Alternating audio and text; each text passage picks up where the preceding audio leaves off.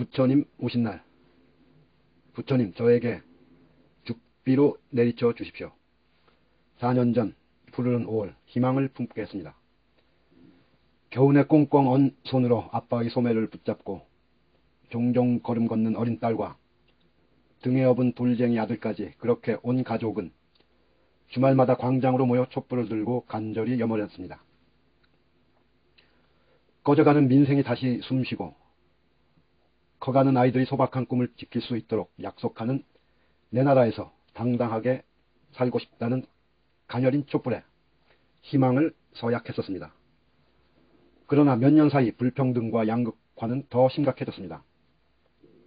땀은 천대받고 땅은 목숨값의 몇십 배가 되도록 방치했던 것이 가장 큰 원인이었습니다.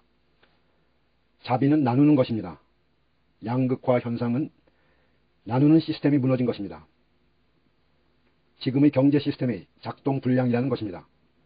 양극화를 해소하기 위해 고장난 시스템을 바로잡고 불로소득을 뽑아내는 것이 바로 지대개혁입니다. 지대개혁입니다. 그저 부처님이 자비를 구하고 두 손 모아 빈다고 면책되지 않을 것입니다. 주어진 권한과 능력으로 자비 세상이 되도록 따박따박 진력을 다해야 합니다.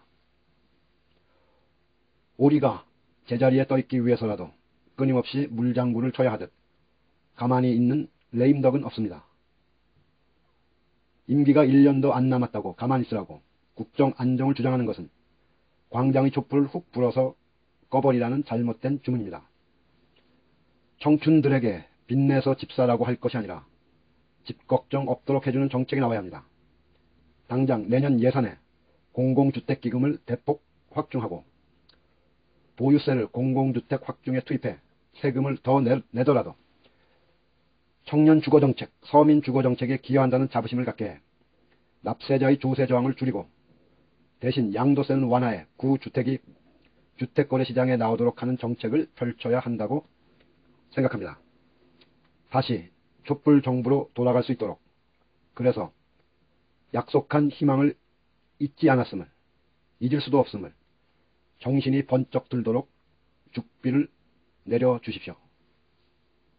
다시 촛불 정부로 돌아갈 수 있도록 주미에